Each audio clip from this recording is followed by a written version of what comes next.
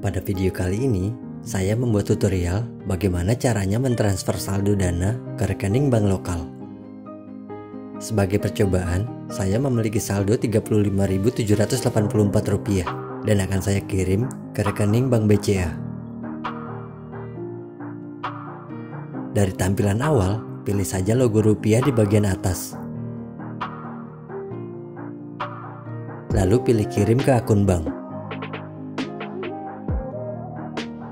Kalau rekening tujuan belum ada di dalam daftar, pilih tanda tambah yang bertuliskan kirim ke rekening bank.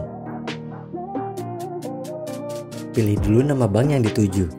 Di sini, saya akan mengirim saldo ke rekening BCA.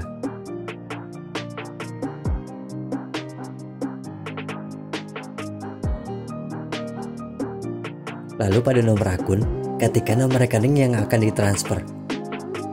Kemudian pada bagian alias, isikan dengan nama pemilik rekeningnya. Kemudian pilih tambah bank baru. Setelah itu, masukkan jumlah nominal yang akan ditransfer. Pada video ini, saya akan mengirim Rp30.000.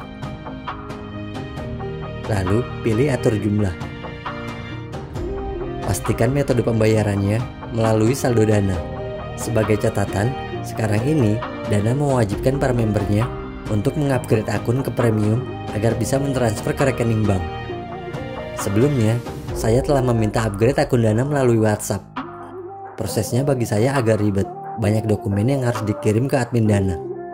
Jika disetujui, pihak admin akan mengirimkan persetujuan melalui email yang kita masukkan saat mengajukan upgrade akun.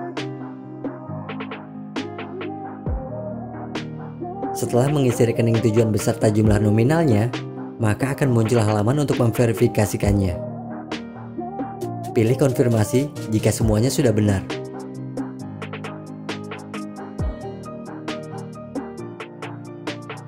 Selanjutnya, masukkan nomor PIN akun Dana. Jika metodenya sudah benar, maka akan muncul status pembayaran telah berhasil. Untuk detailnya, kita bisa pilih di bagian lihat transaksi. Seperti itulah cara mentransfer saldo dana ke rekening bank lokal.